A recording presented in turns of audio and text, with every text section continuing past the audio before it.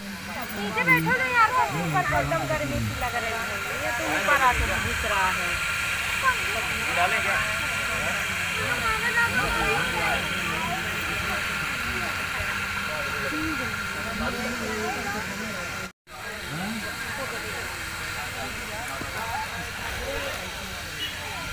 कहाँ गए चले गए थे बहन अभी?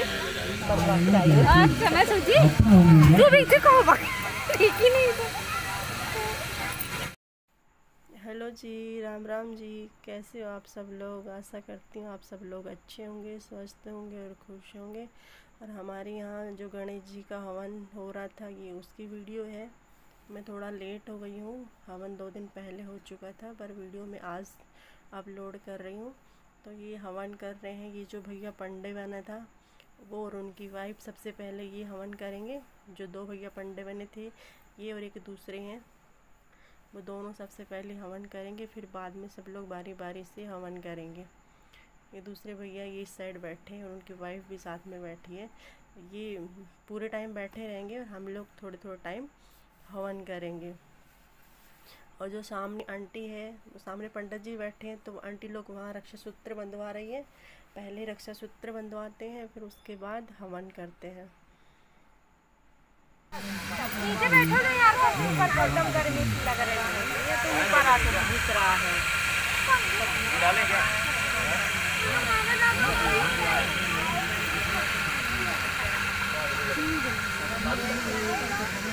जो पंडित जी है वो सामने स्टेज पे बैठे वहीं से मंत्र बोल रहे हैं।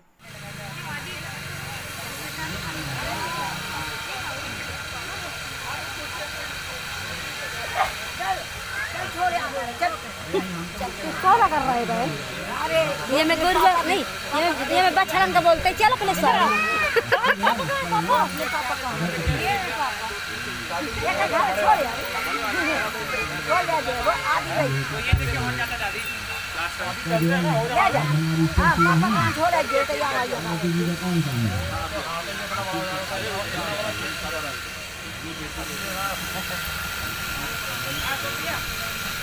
आजा भैया आजा भैया आपके इंतज़ार में हवन रुको अरे हमारे चक्कर में तू हम भाई लकड़ी हो जाएगी नहीं बेटा दाई दो राजा दाई दो काम जा रोड रोड में राजा। की जय। पुणे ओम श्री मन महागणाधिपतये नमः स्वाहा। ओम श्री लक्ष्मी नारायणाभ्ये नमः स्वाहा।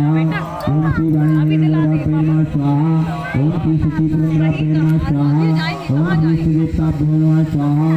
ओम श्री कुल देवता नमः स्वाहा। ओम श्री देवता नमः स्वाहा। ओम सर्वेभ्याहिते स्थापित देवता नमः स्वाहा। ओम श्री भगवते श्याम सुधा शिवाय नमः स्वाहा। ओम श्री रामचंद्र देवता नमः स्वाहा। ओम श्री कृष्ण देवता नमः स्वाहा। ओम श्री महामृत्युंजय देवताभ्यो नमः स्वाहा ओम श्री रिद्धि सिद्धि देवते नमः स्वाहा ओम श्री चौसठ योगिनी देवते नमः स्वाहा ओम श्री नर्मदा देवते नमः स्वाहा ओम सिद्ध बुद्धि सहिता श्री मन महागणाधिपतये नमः स्वाहा जल घुमाएँ जल माथे में लगाएँ और जिनका गुरु जी का मंत्र हो पाँच आहुति दें अपनी जब जल माथे में लगाएँ तो इंद्राय नमः सत्राय नमः बोलें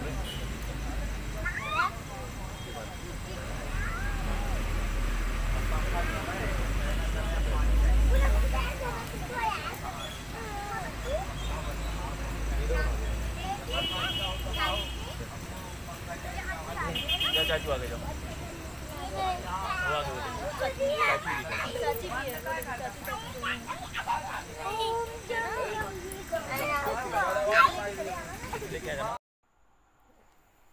और जी यहाँ मैं भी आ गई थी हवन करने। जय देवताभ्यो नमः स्वाहा। ओम नमो भगवते वासुदेवाय नमः स्वाहा। ओम नमः शिवाय स्वाहा।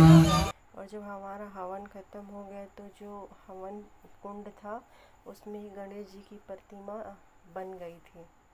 मुझे तो कुछ ज़्यादा समझ में नहीं आया, पर सब लोग बोल रहे थे, बिल्कुल गणेश जी लग रहे हैं। तो आप लोग देखो, आप लोग को भी समझ में आ रहा है कि इसमें गणेश जी की प्रतिमा है। सब लोग तो बोल रहे हैं कि गणेश जी लग रहे हैं, बिल्कुल।